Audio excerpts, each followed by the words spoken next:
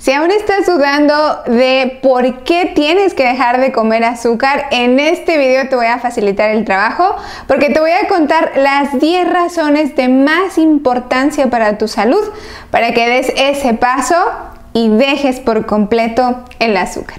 Yo soy la doctora Suraima Corona y te pido que me acompañes porque este video te va a ayudar muchísimo a entender por qué el azúcar y todos los alimentos que la utilizan en su preparación estorban para tener una buena salud. Acompáñame.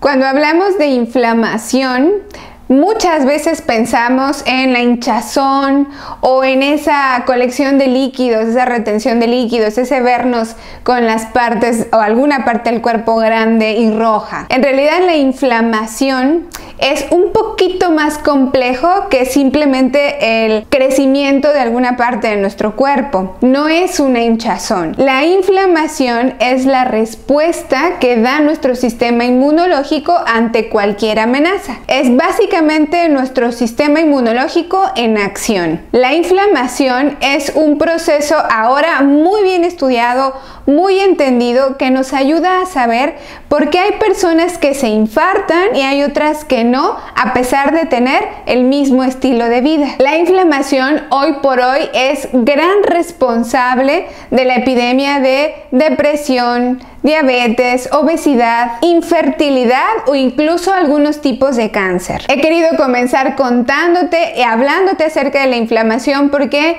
se trata de una alteración silenciosa. Poquita inflamación está bien, es necesario, nuestro cuerpo la necesita para poder luchar contra infecciones o agresores externos, incluido el distrés o el estrés crónico. Pero inflamación llevada por mucho tiempo, es decir, más de tres meses consecutivos, se considera inflamación crónica y esto es una enfermedad que te digo muchas veces es silenciosa. ¿Por qué te comienzo platicando acerca de la inflamación? Bueno, pues porque resulta que la, el consumo de azúcar, del color que tú me digas, ojo, aquí quiero aclararte, puede ser eh, miel de abeja, puede ser miel de agave, miel de maple, azúcar moscavada, azúcar refinada, como la que clásicamente pensamos que es la peor y lo es, pero todas las demás, los azúcares en sí, son nocivos para la salud y esta es la primera razón, causan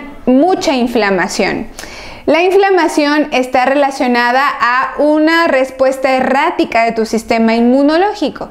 Por eso es que ante la reciente epidemia de COVID vimos cómo las personas con obesidad y sobrepeso tendían a generar más complicaciones incluso sobre quienes padecían diabetes y o diabetes. Resulta que cuando consumimos azúcar, muchas de las bacterias que viven en nuestro intestino van a crecer y otras van a morir. Sabemos que las bacterias que les gusta que comamos azúcar son bacterias nocivas para nuestra salud que causan típicamente lesiones en la mucosa intestinal y además pueden migrar al torrente sanguíneo causando respuestas inmunológicas erráticas. Por lo tanto, hoy sabemos que el azúcar del tipo que sea, insisto, es capaz de causarnos una disbiosis intestinal. La disbiosis es este cambio entre las bacterias buenas y las malas que viven en nuestro intestino.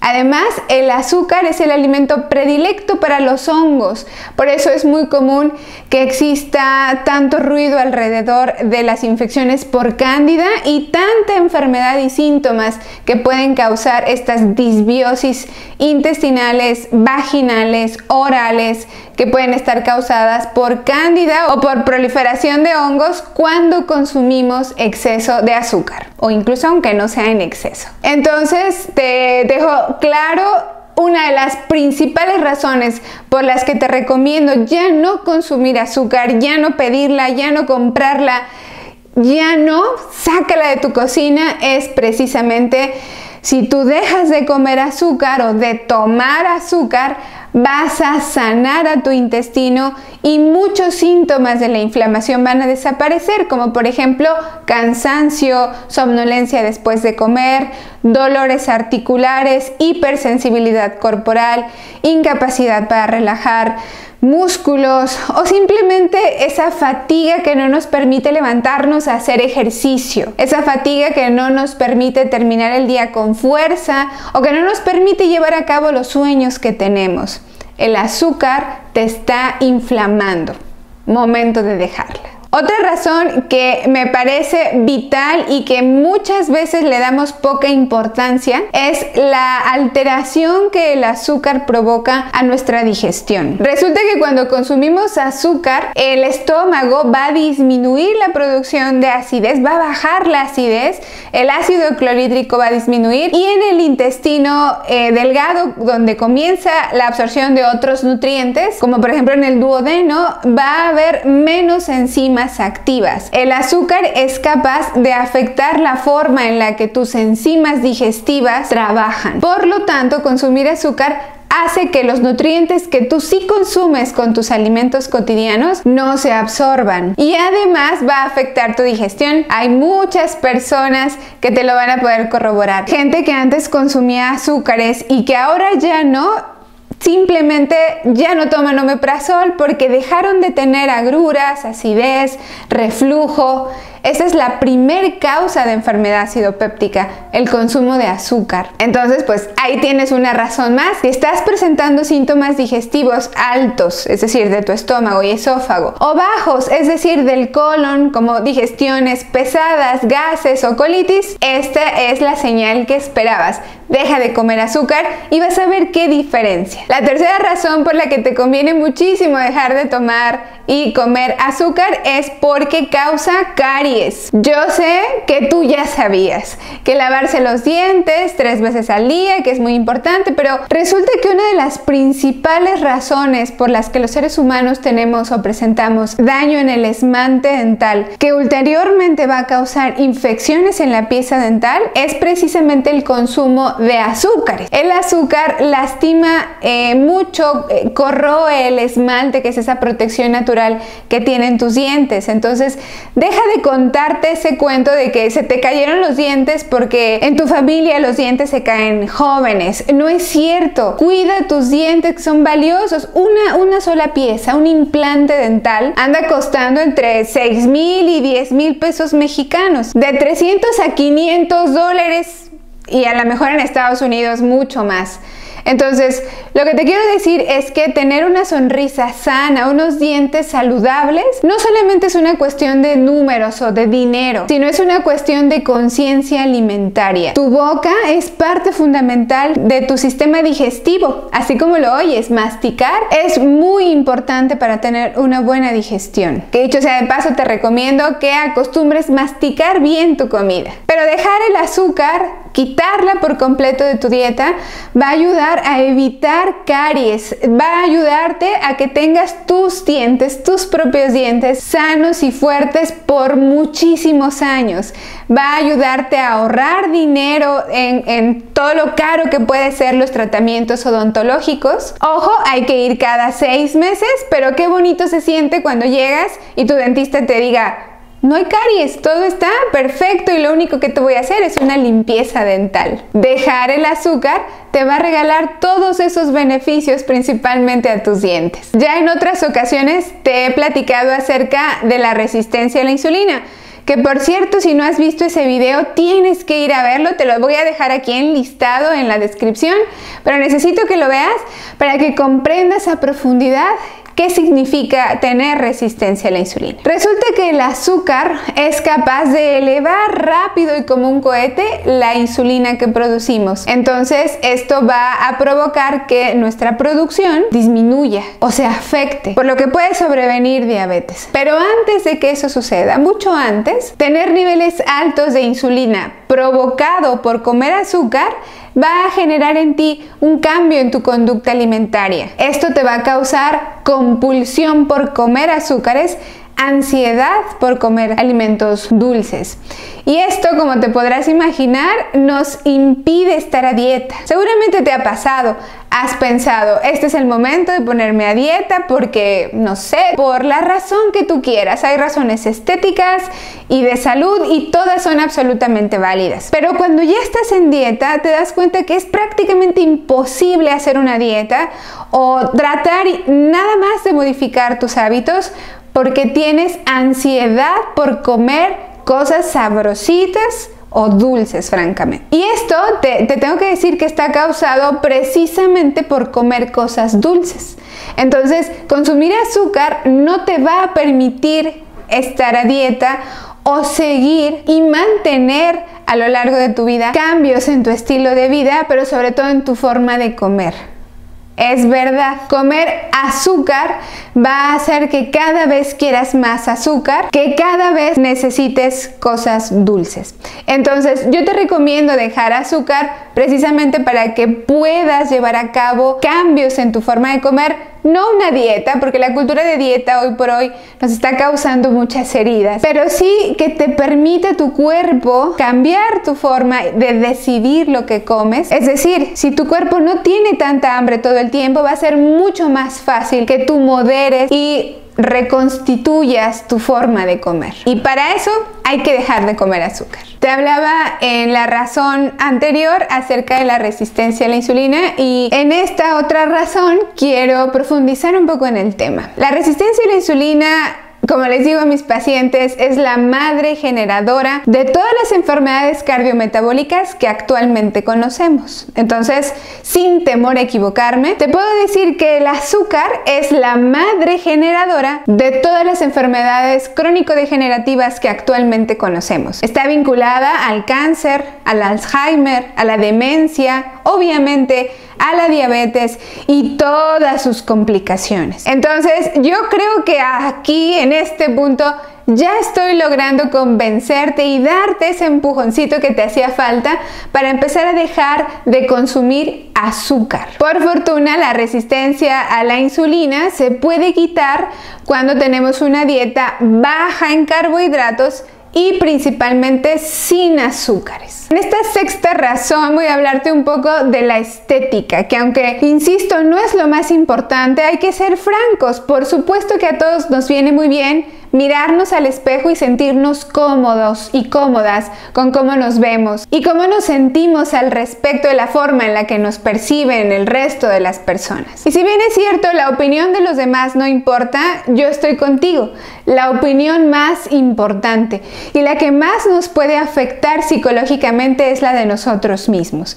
Por eso, dejar de consumir azúcar te va a ayudar muchísimo para tratar el sobrepeso y la obesidad que puedes estar padeciendo. Además te va a ayudar a desaparecer esas marcas negras que pueden aparecer en el cuello o en los pliegues debidas al punto anterior, la resistencia a la insulina. Y como te decía un poco antes, te va a ayudar a cuidar tus dientes, vas a tener dientes mucho más sanos. Se ha visto también que el consumo de azúcar puede hacer que por falta de magnesio, biotina o zinc, porque no se absorben bien en tu tubo digestivo, precisamente por comer azúcar, tengas una mala calidad en el cabello, en la piel o en las uñas. Entonces sí, por estética también te conviene dejar de consumir azúcares. Una razón que a mí me gusta mucho explicarles a mis pacientes en consulta es un poco de costos, porque si bien es cierto, cuando estamos enfermos o necesitamos algún tratamiento, bueno, pues vamos y, compramos y gastamos, pero no por mucho tiempo. No todos los bolsillos aguantan gastar tanto en medicinas, en medicamentos, en tratamientos por mucho tiempo. Como te decía, las enfermedades crónico-degenerativas causan gastos altísimos por toda la vida. Entonces, gracias a dejar de consumir azúcar, tú puedes también dejar de gastar tanto dinero en médicos y en medicinas. Créeme, es una fórmula mágica. Cuando atiendo a una persona que vive con diabetes y todavía consume azúcar, no podemos controlar la enfermedad y por consecuencia tenemos que utilizar más medicamentos, visitar otros especialistas. Y por el contrario, cuando se trata de una persona que sí es capaz de dejar de consumir azúcar, también puede dejar de consumir medicamentos y en cada visita vamos recortando la medicina. Todo depende de ti y de tu alimentación en cuestión de gastos en salud. No quiero avanzar sin dejar atrás esta razón que es la número 8. Me gusta mucho contártela porque a veces no se nos ocurre que cuando consumimos azúcar nuestro paladar está hiperestimulado y eso significa que cada vez vamos a querer más y más y más azúcar. Cosas que antes nos parecían súper dulces cuando estamos acostumbrados o lo comemos eh, repetidas veces, frecuentemente, cada vez nos parece menos dulce. Te tengo que decir que si dejas de comer azúcar es posible lograr que disfrutes de nuevo el sabor real que tienen los alimentos. De hecho, en estudios se ha comprobado que las personas que no consumen azúcar toleran y prefieren comer verduras que aquellas que sí acostumbran azúcares. Cuando comes azúcar, tu paladar no te va a dejar consumir verduras con gusto. Entonces, ¿Qué te parece? Dejar el azúcar para poder introducir alimentos de mayor valor nutricional como las verduras y redescubrir la gama de sabores tan vasta que hay en todos los alimentos reales que tú puedes comprar y que además te van a ayudar mucho a cuidar tu salud. La Organización Mundial de la Salud ha venido diciéndonos por muchos años que la cantidad recomendada de azúcar al día es de 25 gramos. Pero hoy te quiero contar que esto no es necesariamente cierto Realmente no hay estudios que avalen que el cuerpo humano es capaz de tolerar sin sufrir daños solamente 25 gramos de azúcar al día. No es cierto. Nuestro cuerpo no está hecho para metabolizar azúcar. El azúcar no aporta ningún tipo de nutriente a nuestro cuerpo. Probablemente tú me vas a decir, pero es que sí necesitamos la glucosa para vivir y eso es cierto. Pero el azúcar no es por mucho no es ni la única ni la mejor fuente de glucosa para los seres humanos. Realmente consumir azúcar únicamente tiene fines de palatabilidad. Esto quiere decir, su único objetivo es darle un gustito que dura pocos minutos a tu lengua y nada más. Por lo tanto, la recomendación de la OMS que te comentaba hoy ya se está reformando. Si bien es cierto, no está publicada de manera formal, sí es verdad que nos está diciendo cada vez con más frecuencia, no solamente ellos, sino todos los especialistas en salud y, y gente que se dedica a investigar que no necesitamos consumir azúcar. Tu cuerpo realmente no la necesita para nada. El azúcar de la que estamos hablando, lo que es lo mismo sacarosa o azúcar de mesa, que te decía, puede ser miel o todo lo que se le parezca, puede ser sustituida por algún edulcorante artificial. Eso nos están diciendo. Pero yo te tengo que decir que no. En realidad, la respuesta a la pregunta clásica, ¿cuál es el mejor endulzante? La respuesta es ninguno. La respuesta que yo te quiero dejar aquí es enamórate de nuevo. Redescubre otra vez los sabores reales de la comida. Cada alimento tiene su propio sabor.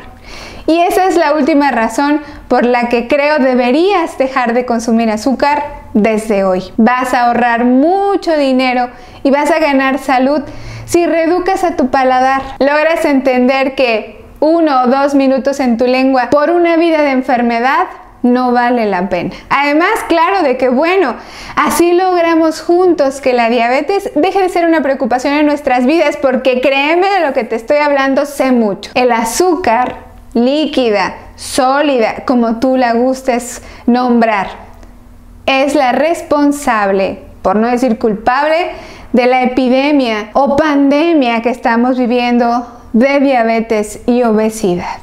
Tú decides si le quieres seguir abriendo la puerta a semejante monstruo nocivo para la salud de tu cuerpo y la de toda tu familia. Yo soy la doctora Suraima Corona y te pido por favor que le dejes una manita arriba a este video. Así me demuestras todo tu cariño, pero sobre todo me ayudas mucho con un gran empujón para seguir adelante preparando para ti esta, este material, esta información. Y además también te pido que lo compartas para todos tus seres queridos y así poco a poco vamos avanzando y vamos siendo una comunidad cada vez más saludable. Sígueme en mis redes sociales porque ahí hay mucho más de todo esto que comparto para ti. Te veo en el próximo, te mando muchos besos. Adiós.